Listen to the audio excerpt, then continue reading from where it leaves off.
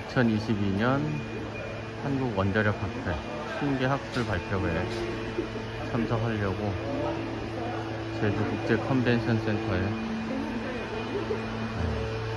또 왔습니다. 들어가는 골목.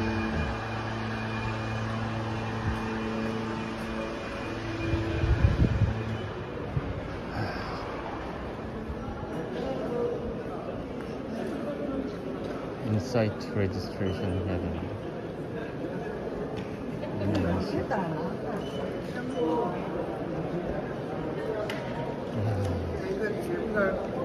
가까이 다니는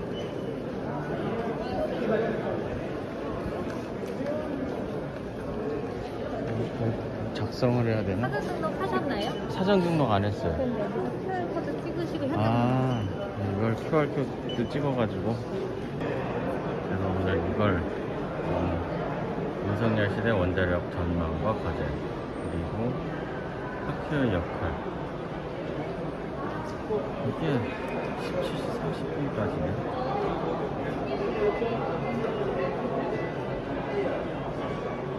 이것도 들어야 되고 결제를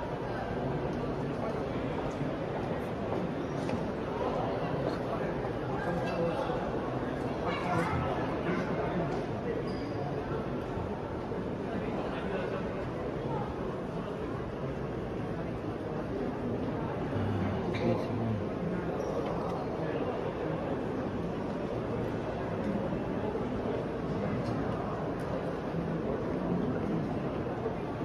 일단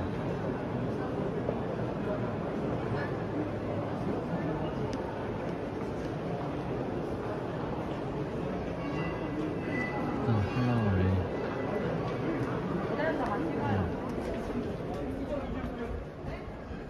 좀 들어보다가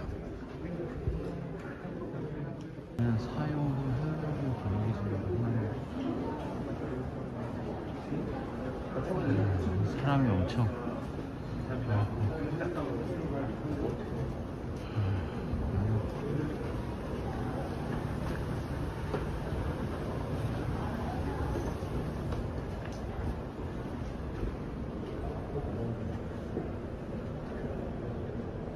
감사합니다.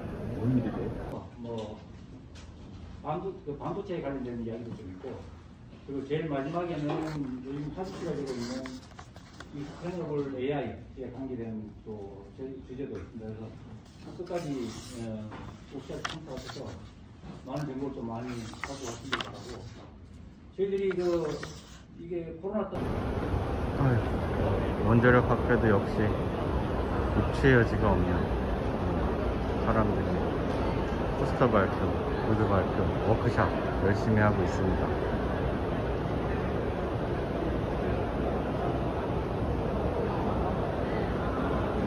오늘은 두 번째 날이고요.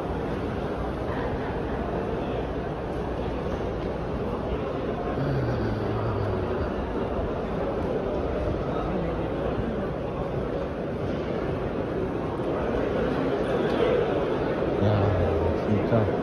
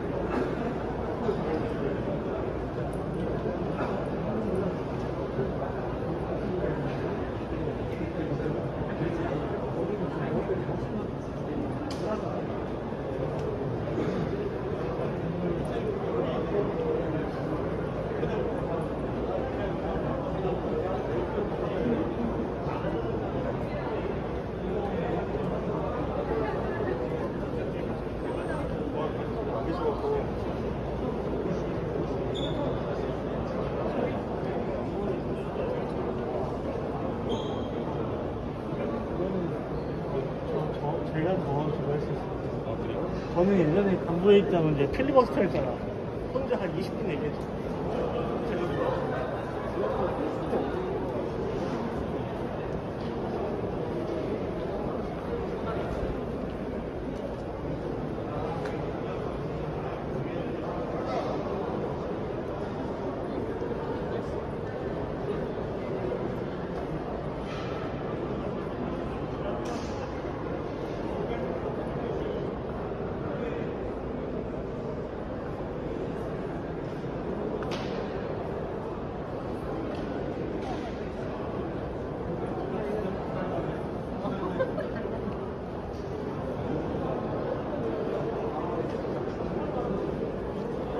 내용을 찍을 수는 없어서 제목만 어, 지금 좀 훑어보고 있습니다.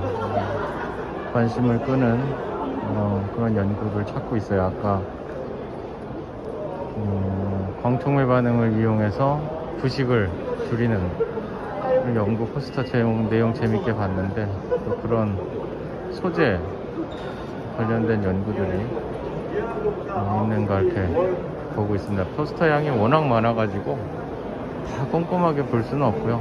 제목과 앱스트랙트만 보고 다음에 이제 어, 관련성이 있으면 좀 더 깊이 보고 어, 하는 거죠. 네.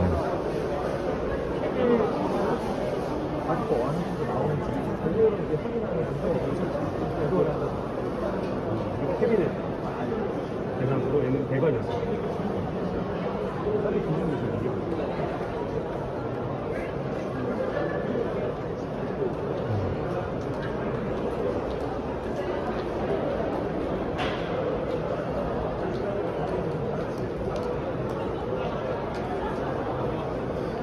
하, 워낙 연구 분야가 다양하고 많아서 원전은 진짜 토탈 솔루션이라는 생각이 드네.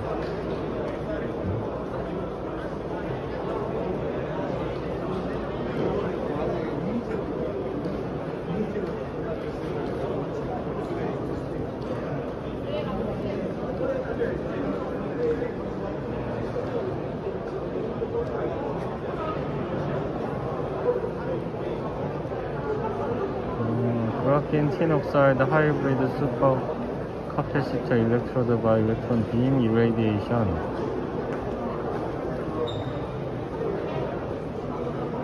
아 요거 재미있어 보이는데 사람이 없네. 요거 재미있어 보이는데 사람이 없어. 크리